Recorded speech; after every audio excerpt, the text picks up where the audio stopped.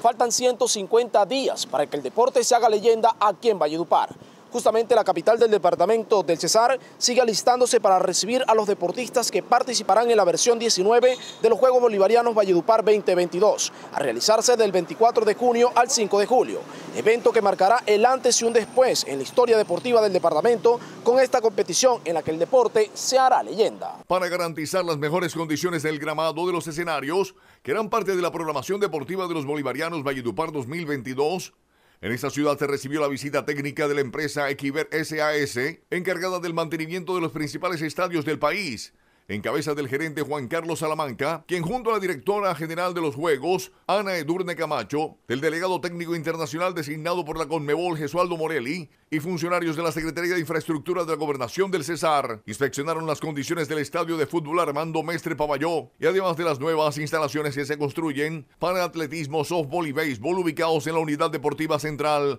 Oscar Muñoz de la capital del Cesar. El objetivo de esta visita sirvió para diagnosticar el avance de los campos que contemplan grama natural para la realización de los decimonovenos Juegos Bolivarianos Valledupar 2022 y demás competiciones oficiales a fin de dar cumplimiento a las exigencias por parte de la Federación internacionales y nacionales para la realización de los grandes eventos deportivos. Con respecto al estadio de fútbol Armando Maestre, Salamanca indicó que el escenario cuenta con infraestructura de primer orden que incluye sistemas de drenaje y riego. Además, de un buen tipo de grama. Sin embargo, a juicio del experto, se requiere una reconversión de proceso actualizando el equipo de corte, el sistema de riego y correspondiente tratamiento agronómico. Por solicitud de la organización de los Juegos Bolivarianos, revisamos las condiciones de la infraestructura deportiva construidas, que será objeto de adecuación, y las que están actualmente en construcción para el evento deportivo que tendrá Valledupar, con la intención de recomendar los procesos y tratamientos más adecuados para el mejoramiento de los campos dijo Salamanca, quien representa a la empresa encargada de hacer mantenimiento